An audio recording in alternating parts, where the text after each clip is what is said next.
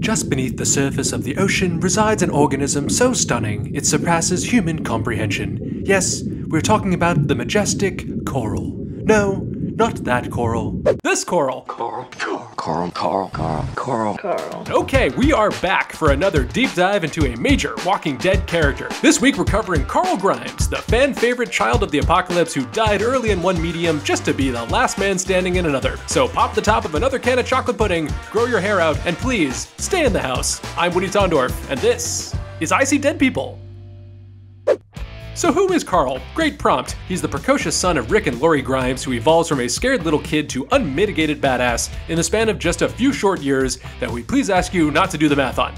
Carl Grimes made his Walking Dead comic debut in issue 1 as a photograph, and in issue 2 as a full ass person. It's called character development. Once the apocalypse hits, Carl, Lori, and Shane leave a comatose Rick and join up with a survival group just outside Atlanta. Rick miraculously reunites with them, causing Carl to be overjoyed and Shane to be upset.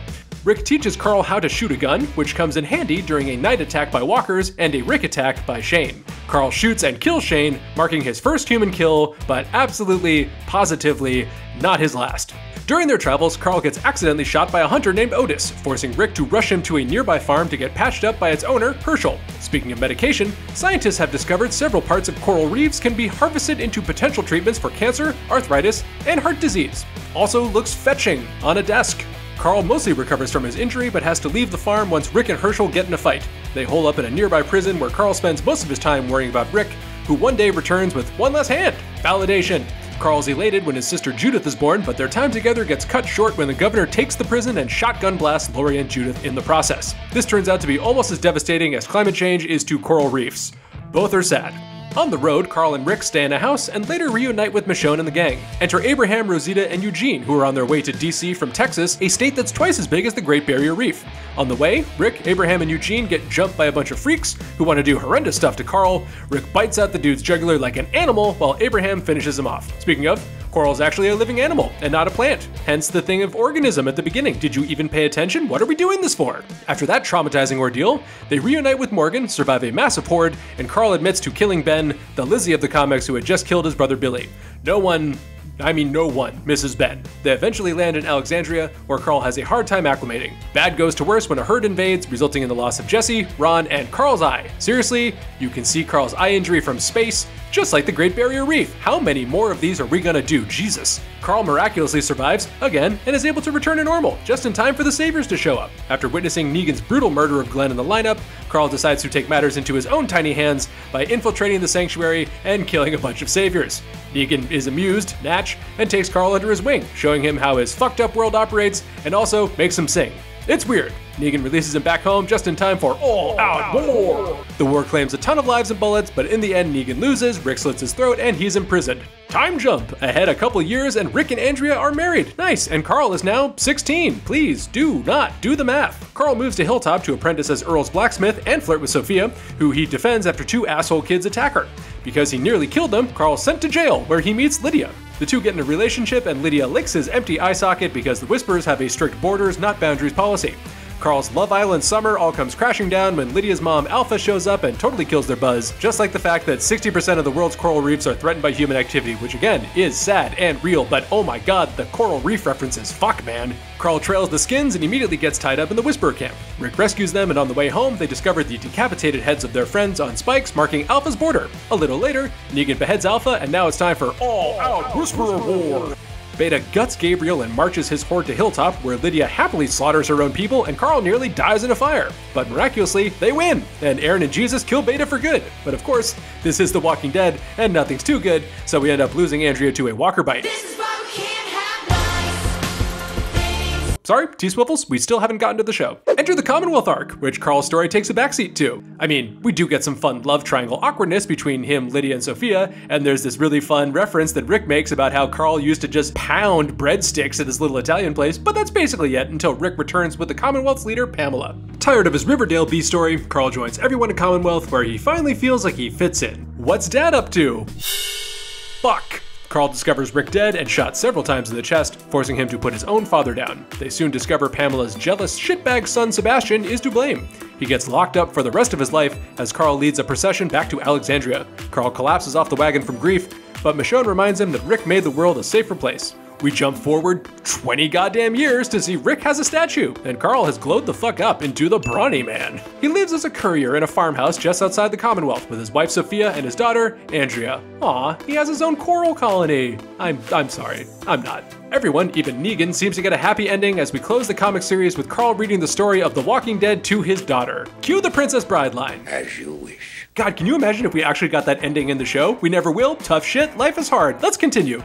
Chandler Riggs first appears as Carl Grimes in the pilot episode Days Gone By. Like the comics, he, Lori, and Shane join a survival group just outside of Atlanta after abandoning Rick in a hospital. Rick miraculously reunites with them, Carl gets his first and only haircut, and they all barely make it out of the camp alive. they take shelter in the CDC until Dr. Edwin Jenner decides to blow it up. After getting trapped on a highway by walkers, Carl and the gang retreats into the woods, where Sophia gets lost and Carl gets shot through the chest by a hunter named Otis. Rick rushes Carl to the nearest idyllic looking farm to get patched up by Hershel, who lets them stay. Wow, we should shoot Carl more often. Carl wakes up from his coma, but Sophia is not so lucky. Soon after, Shane goes crazy, Rick kills him, and Carl puts him down in epic fashion. Making matters worse, the farm goes to shit, and they're forced to flee. The gang holds up into prison, which Carl adapts to faster than Prison Mike. I am in escape Carl finds medicine to help Hershel's leg amputation, but is helpless when his mother dies giving birth to Judith. Carl puts her down, Jesus, and then sobs with Rick, leading to the most glorious Walking Dead meme ever. No. Soon after, Carl discovers Michonne, who stays, and Tyrese's group, who bounce to join Woodbury. After the governor attacks, Carl, Rick, and Michonne head out to find more weapons in Carl's hometown. It's there they run into Morgan, who Carl shoots like a badass. Ooh, right in the torso, don't rub it.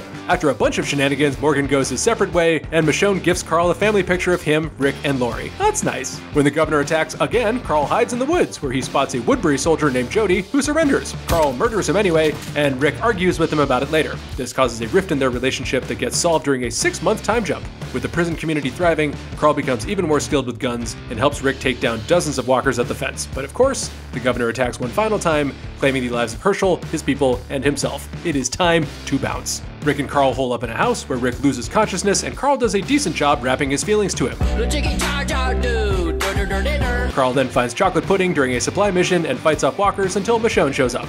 On the road, the three of them get jumped by a group of rapist men and Daryl, who claims he was just there for the Groupons. When the strangers try to assault Carl, Rick goes from zero to Last of Us 2 Night Forest scene and bites out Joe's jugular, disembowels this guy, and kills the others with the help of Daryl and Michonne. Afterwards, they arrive at Terminus and immediately get captured. They're fucking with the wrong people. Carol helps break them out, and Rick and Carl finally reunite with Judith, who's definitely seen some shit. Thanks to Aaron, they eventually make it to Alexandria, where Carl and the others have a difficult time adjusting to quote unquote normal life. He quickly gets over it, after definitely getting a boner in this hollow tree with Enid. They return to town just in time to watch Rick go full Hugh Jackman prisoner on Pete. After things settle down and they survive the wolf attack, Enid goes missing. Carl and Ron get in a fight about it, leading to this very non badass scuffle. Rick and the gang throw on the gut ponchos and nearly make it out alive until fucking Sam freaks out and busts their cover. He and Jesse get eaten, leading Ron to shoot at Carl. Michonne stabs and kills him, but this shot hits Carl in his eye. Rick rushes him to Denise, who's able to keep him alive. Good job, Denise. Months later, we meet the Hilltop and learn about their beef against the Saviors. After killing a bunch of them in their sleep, Rick decides to go to Hilltop and get medical help for Maggie. Carl locks Enid in a closet, and when she asks him what happens if he doesn't come back, Carl says, Just survive somehow. Yeah, good job, smooth guy Carl. Hit him with a line. On the road, Carl and the gang get kidnapped by the Saviors, put on their knees, and forced to watch Negan brutally murder Abe and Glenn. Carl almost gets his arm hacked off by Rick, but Negan stops him because the episode is nearing two hours of torture. So what does Carl do next? Goes rollerblading with Enid and gets his first kiss. My man! Carl then sneaks into a savior truck with Jesus, tricks him into hopping out, and infiltrates the sanctuary, killing several saviors. Did You picked that gun because it looks cool. Like the comics, Negan takes him under his wing and makes him sing and watch people get ironed. I've had worse internships. I'm just saying. Negan returns Carl to Alexandria and starts making spaghetti, basically just playing house until Rick returns. And once he leaves, Carl and the gang reunite with Daryl at Hilltop and then head to Kingdom to recruit King Ezekiel. When that doesn't work, they head to Oceanside, where Carl naturally holds a bunch of women and girls at gunpoint, asking them to fight for them. Thankfully, the communities reunite in an epic battle in Alexandria, where Carl almost gets Lucille'd, this guy gets mauled by Shiva, oof, and they actually drive Negan out of town for once. Time for all out war! Carl recreates Rick's gas station scene from the pilot and meets a stranger named Siddiq. Run like the wind, Carl! He doesn't. Carl ends up getting bitten on the way to Alexandria, son of a bitch! Carl spends the last days of his life writing very eloquent letters to loved ones and taking selfies with Judith. Negan arrives at Alexandria that night, and Carl quickly formulates an escape plan through the sewers. He offers himself up to Negan in exchange for everyone's safety, but is interrupted by Daryl's distraction plan. Negan and his people attack as Carl reveals his bite mark to Rick and the gang in the sewers. He gives them his letters, says an emotional goodbye to Judith and the rest, and eventually dies in the town church by shooting himself in the head. And so ends Carl Grimes. I do not have any Coral facts. Carl survived through 193 issues and 108 episodes. In the show, he was briefly a poster child for other Robert Kirkman comics like Science Dog and Invincible. See, he's reading it right here in the woods. He's inspired numerous cosplays, action figures, merchandise, and so much more. And even though he died in the show, you can still catch Chandler Riggs as Carl Grimes in his GTA Online Twitch streams, as God intended. And that wraps up this week's episode of I See Dead People. What are your favorite Carl moments? Would you let someone lick your eye socket as a form of second base? Like and subscribe to Skybound and check out our Walking Dead podcast, Talk Dead to Me, where we interview Walking Dead actors like Chandler Riggs himself. I'm Woody Tondorf. Coral gets their color from algae. Oh, god damn it. And we'll see you next time.